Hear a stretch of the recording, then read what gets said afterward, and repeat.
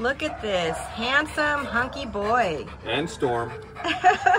His animal ID number is A5580204 and he came to the Baldwin Park Animal Care Center as a stray on September 12th. He weighs 78 pounds. What can you tell us about him, Tom? So he was shy in his kennel at first, and then when the second time I went to meet him, he was a lot more um, up. And then when I put the leash on him, he was really up. And so he's got a lot of play in him. He will sit on command. I haven't quite figured out his his interaction with dogs yet. The notes say calm dogs only.